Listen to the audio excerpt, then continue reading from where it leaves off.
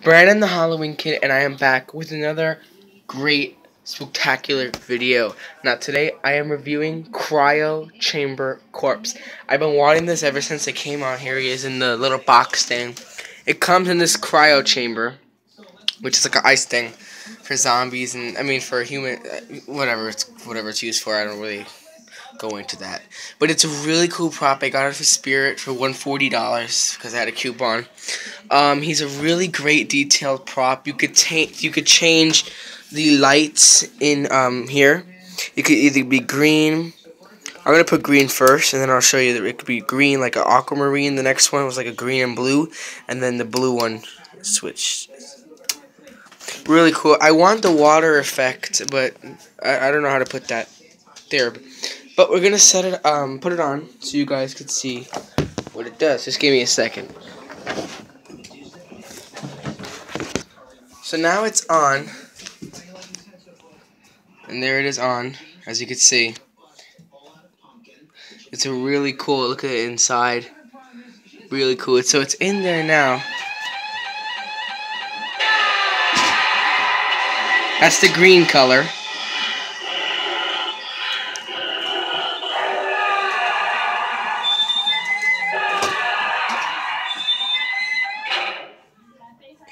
I'm putting the aquamarine color. So, once it's in the box, so now it's like that lightish blue.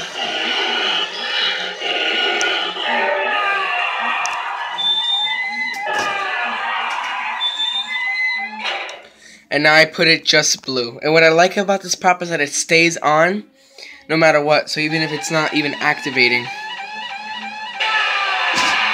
And there's the blue.